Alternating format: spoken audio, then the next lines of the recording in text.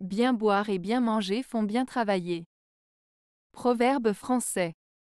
Ce proverbe français signifie que si nous nous nourrissons et nous hydratons correctement, cela contribuera à notre productivité.